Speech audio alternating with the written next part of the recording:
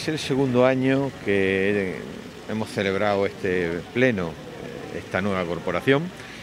Este pleno que lleva muchos años eh, celebrándose el día 25 de noviembre eh, en conmemoración de algo que creo que no tendríamos que estar conmemorando, porque eso sería señal de que hemos erradicado definitivamente una lacra que tiene nuestra sociedad. Una lacra que mientras tenga teniendo las cifras que tiene, pues algo estaremos haciendo mal, porque hacemos muchas labores de concienciación, trabajamos mucho eh, desde las distintas asociaciones de mujeres que hay en esta ciudad y que, están trabajando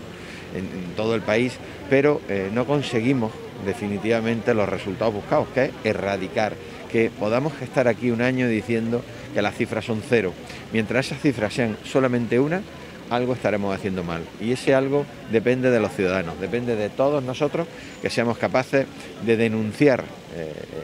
lo que está ocurriendo y de trabajar todos juntos porque sea erradicado definitivamente, que creo que es lo que la sociedad demanda y lo que eh, los poderes públicos tenemos que hacer, poner la herramienta encima de la mesa para que esto no vuelva a ocurrir nunca más.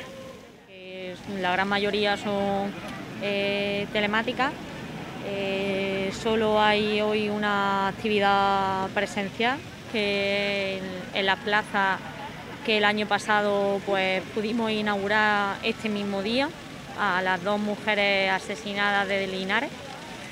Y la verdad que se está desarrollando pues con total normalidad y la gente pues bueno las distintas asociaciones están basando su programación en esto y pues bueno no está habiendo ningún tipo de inconvenientes porque como es todo telemático, pues no hay problemas ni de afluencia, ni de corte de tráfico, ni de nada por el estilo. Simplemente, pues bueno, mm, animar a que esto no sea solo el día de hoy, eh, porque la sensibilización, la visibilización,